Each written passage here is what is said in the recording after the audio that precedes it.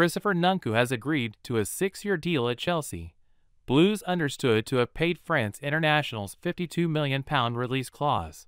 Nkunku contributed 16 goals and 6 assists in 25 league games for RB Leipzig this season.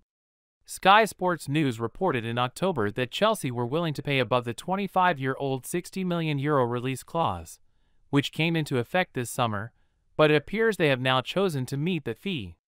Laurence Stewart and Paul Winstanley, Chelsea's co-sporting directors, said, Christopher has proved himself one of the standout attacking players in European football over the past two seasons and will add quality, creativity, and versatility to our squad.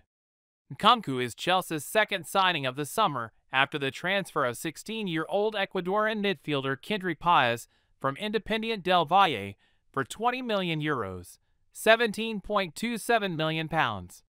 He will not join the club until 2025 when he turns 18.